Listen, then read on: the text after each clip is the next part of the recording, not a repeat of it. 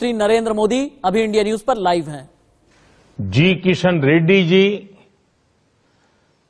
तेलंगाना के मंत्री मोहम्मद मसूद अली गारू,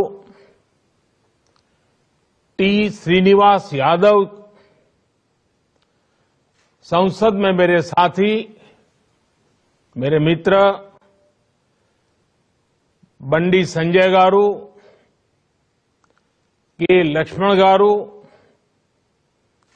अन्य सभी महानुभाव, देवी और सज्जनों, नमस्कारम। उत्सवों के इस माहौल में आज तेलंगाना और आंध्र प्रदेश को एक भव्य उपहार मिल रहा है। वंदे भारत एक्सप्रेस। एक तरह से तेलंगाना और आंध्र प्रदेश की साझा संस्कृति और साझा विरासत को जोड़ने वाली है। मैं तेलंगाना और आंध्र प्रदेश के लोगों को विशेषकर इन राज्यों के मध्यम वर्ग को, निम्न मध्यम वर्ग को, उच्च मध्यम वर्ग को, वंदे भारत ट्रेन की बहुत बहुत बधाई देता हूँ। साथियों, आज सेना दिवस भी है। हर भारतीय को अपनी सेना पर गर्व है। देश की रक्षा में, देश की सीमाओं की रक्षा में, भारतीय सेना का योगदान, भारतीय सेना का शौर्य अतुलनीय है। मैं सभी सैनिकों को, पूर्व सैनिकों को, उनके परिवारों को बहुत बहुत बधाई देता हूँ। साथियों, इस समय पोंगल माघ बिहू मकर संक्रांति उत्तरायण पर्वों का भी उल्लास चारों तरफ़ नज़र आ रहा है। जैसे देश के प्रमुख दिवस, प्रमुख पर्व तो हिमाचल कश्मीर से कन्याकुमारी, अटक से कटक। देश को जोड़ते हैं, हमें जोड़ते हैं। एक भारत श्रेष्ठ भारत की भव्य तस्वीर हमारे मन मंदिर में प्रस्तुत करते हैं। वैसे ही भारत ट्रेन भी अपनी गति से अपनी यात्रा से जोड़ने का, समझने का, जानने का अवसर देती है। वंदे भारत एक्सप्रेस ट्रेन भी एक राष्ट्र के रूप में हमारी साझा संस्कृति, हमारी आस्था को भी जोड़ती है। ये जो नई ट्रेन शुरू हुई है, ये हैदराबाद, वारंगल, विजयवाड़ा और विशाखापट्टनम जैसे शहरों को जोड़ेगी। आस्था और पर्यटन से जुड़े कई महत्वपूर्ण स्थान इस रूट में पड़ते हैं। इसलिए वंदे भारत एक्सप्रेस से श्रद्धालुओं और पर्यटकों को भी बहुत लाभ होगा। इस ट्रेन से सिकंदराबाद और विशाखापट्टनम के बीच लगने वाला समय भी अब कम हो जाएगा। भाई और बहनों, वंदे भारत ट्रेन इसकी एक और विशेषता भी है। ये ट्रेन नए भारत के संकल्पों और सामर्थ्य का प्रतीक है। ये उस भारत का प्रतीक है जो तेज बदलाव के रास्ते पर चल पड़ा है। ऐसा भारत जो अपने सपनों अपनी आकांक्षाओं को लेकर अधीर है। हर हिंदुस्तानी अधीर है। ऐसा भारत जो तेज़ी से चलकर अपने लक्ष्य तक पहुँचना चाहता है। ये वंदे भारत एक्सप्रेस उस भारत का प्रतीक है जो सब कुछ श्रेष्ठ चाहता है, उत्तम चाहता है। ये वंदे भारत एक्सप्रेस उस भारत का प्रतीक है जो अपने हर नागरिक को बेहतर सुविधाएँ देना चाहता है। ये वंदे भारत एक्सप्रेस उस भारत का प्रतीक है जो गुलामी की मानसिकता से बाहर निकलकर आत्मनिर्भरता की तरफ़ बढ़ रहा है। साथियों, आज देश में वंदे भारत को लेकर जिस तेज़ी से काम हो रहा है, वो भी ध्यान देने वाली बात है। ये सिकंदराबाद विशाखापट्टनम वंदे भारत 2023 के वर्ष की पहली ट्रेन है। और आपको खुशी होगी। हमारे देश में 15 दिनों के भीतर ये दूसरी वंदे भारत ट्रेन दौड़ रही है।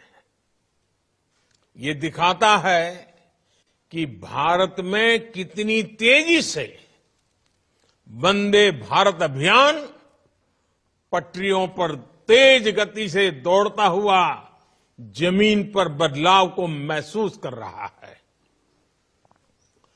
वंदे भारत ट्रेन भारत में ही डिज़ाइन हुई और भारत में ही बनी। देश की ट्रेन है।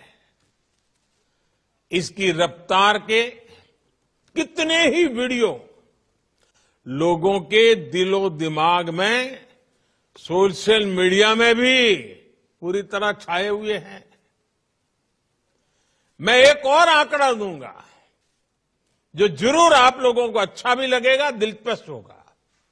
बीते कुछ ही वर्षों में सात वंदे भारत ट्रेनों ने कुल मिलाकर 23 लाख किलोमीटर का सफ़र पूरा किया है। ये पृथ्वी के अट्ठावन चक्कर लगाने के बराबर है। इन ट्रेनों से अब तक 40 लाख से अधिक यात्री यात्रा कर चुके हैं। इन ट्रेनों में यात्रा करने वाले लोगों का जो समय बचता है, वो भी अनमोल है। भाइयों और बहनों कनेक्टिविटी का स्पीड से और इन दोनों का सबका विकास से सीधा संबंध है। कनेक्टिविटी से जुड़ा इंफ्रास्ट्रक्चर दो जगहों को ही नहीं जोड़ता, बल्कि ये सपनों को हकीकत से भी जोड़ता है। ये मैन्युफैक्चरिंग को मार्केट से जोड़ता है। टैलेंट को उचित प्लेटफॉर्म से जोड़ता है। कनेक्टिविटी अपने साथ विकास की संभावनाओं का विस्तार करती है। यानी यहाँ गति है जहाँ जहाँ गति है, वहाँ प्रगति है। और जब प्रगति होती है तो समृद्धि तय है। हमने वो समय भी देखा है, जब हमारे यहाँ विकास और आधुनिक कनेक्टिविटी का लाभ बहुत ही कम लोगों को मिलता था। इससे देश में एक बहुत बड़ी आबादी का समय सिर्फ़ आने जाने में ट्रांसपोर्ट में ही खर्च होता था।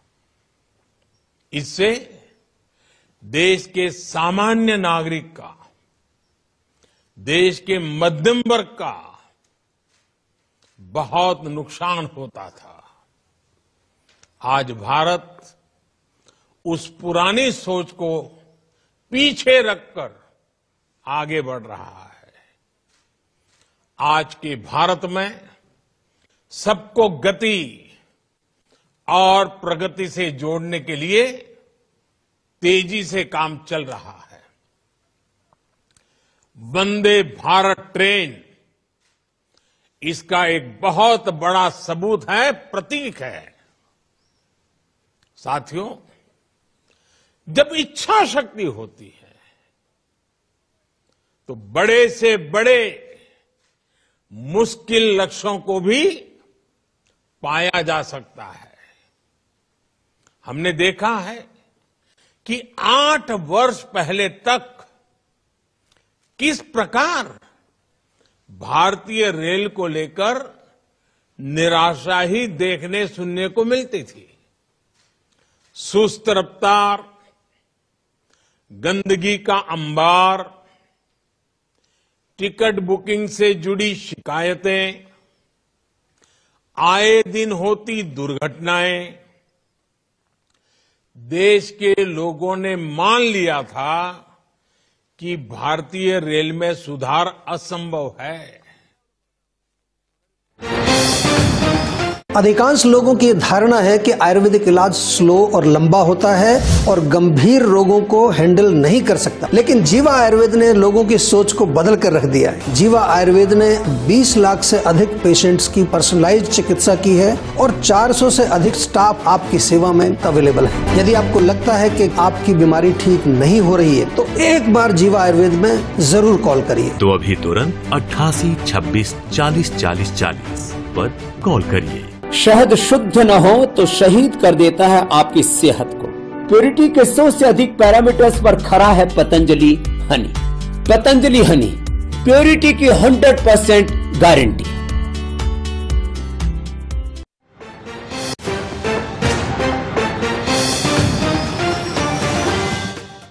देश के कई रेलवे स्टेशन ऐसे हैं, जहाँ अब आधुनिक होते भारत की तस्वीर नज़र आती है।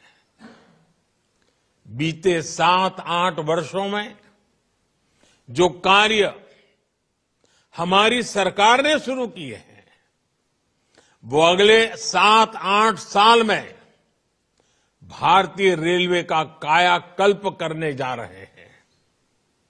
आज टूरिज़्म को प्रमोट करने के लिए विस्टा डोम कोच है, हेरिटेज ट्रेन है। किसानों की उपज को दूर सुदूर के मार्केट तक पहुँचाने के लिए किसान रेल चलाई गई।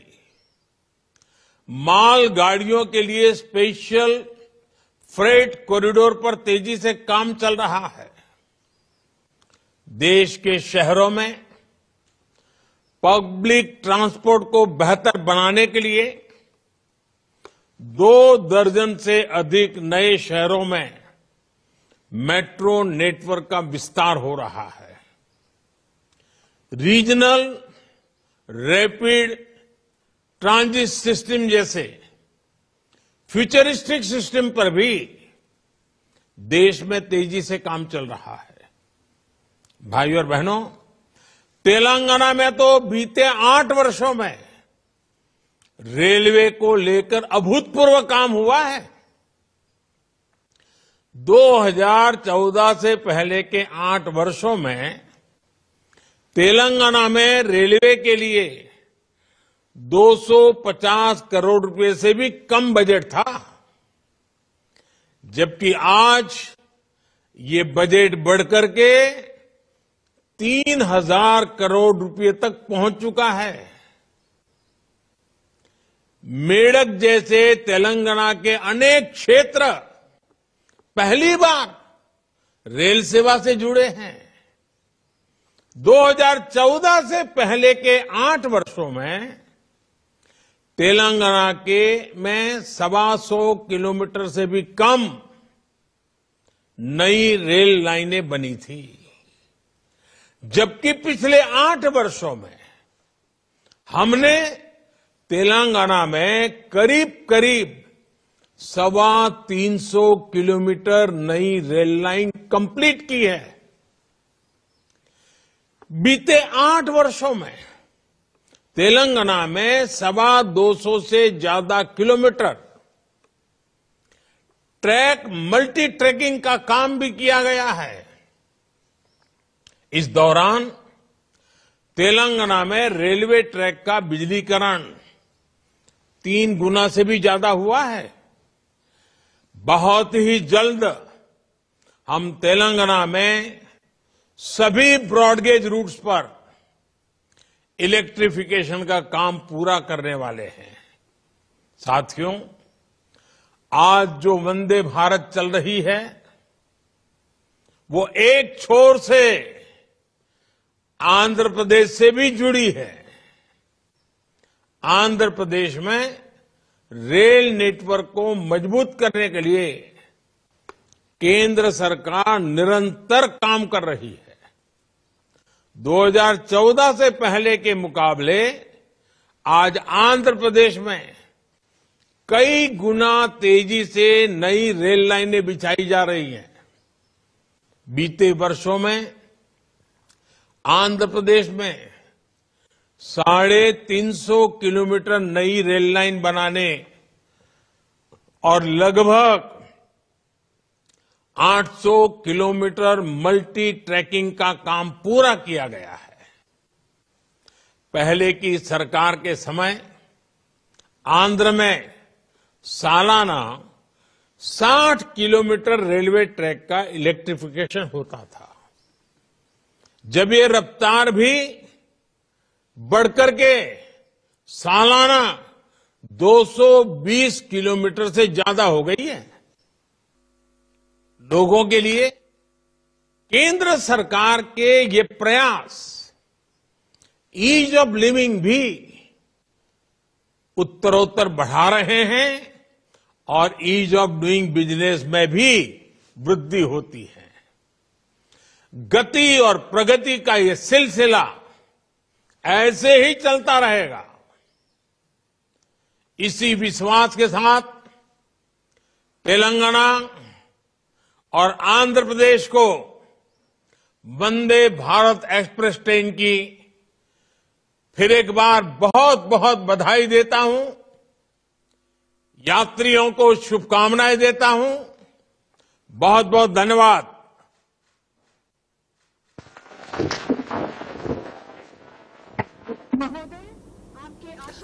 प्रधानमंत्री नरेंद्र मोदी तेलंगाना और आंध्र प्रदेश को बधाई देते हुए आठवीं वंदे भारत ट्रेन की शुरुआत करते हुए प्रधानमंत्री नरेंद्र मोदी ने कहा अब भारतीय रेल में यात्रा करना एक सुखद अनुभव है। निराशा के दौर से भारतीय रेल काफ़ी आगे निकल चुकी है और जहाँ तक आए आजकल की सरकार की बात है तेलंगाना और आंध्र प्रदेश में रेलवे को लेकर बड़ा विकास किया गया है। कि वे हरी झंडी दिखाते हुए इस शुभारंभ से जुड़े।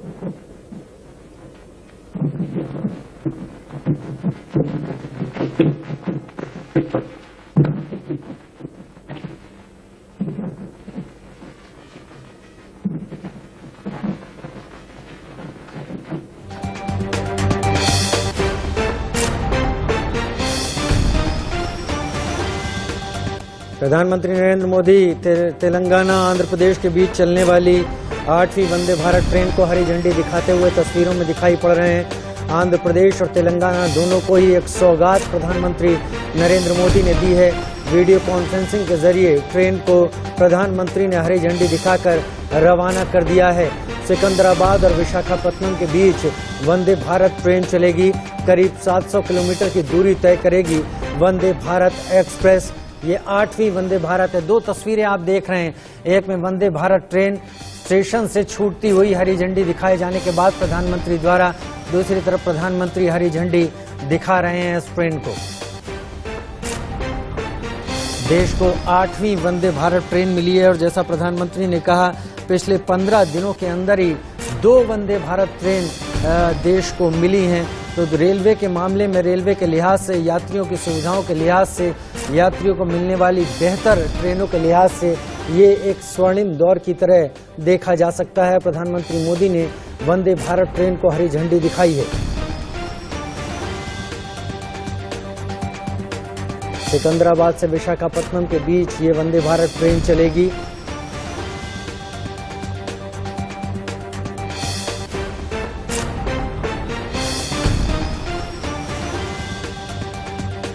वीडियो कॉन्फ्रेंसिंग के ज़रिए प्रधानमंत्री नरेंद्र मोदी ने ट्रेन को रवाना किया है और ये ट्रेन की तस्वीरें आप देख पा रहे हैं। रवाना होती ट्रेन की तस्वीरें जो कि सिकंदराबाद से विशाखापट्टनम जाएगी आंध्र प्रदेश और तेलंगाना को एक नई ट्रेन के ज़रिए कनेक्टिविटी मिलेगी।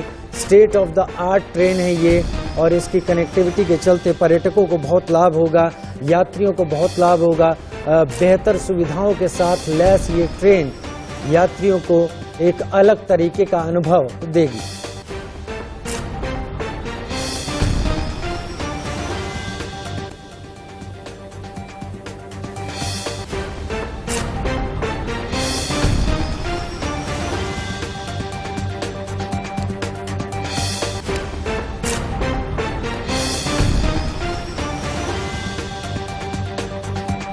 आठवीं वंदे भारत ट्रेन तेलंगाना और आंध्र प्रदेश को प्रधानमंत्री नरेंद्र मोदी की सौगात ट्रेन स्टेशन से निकल चुकी है और विशाखापट्टनम तक जा रही है।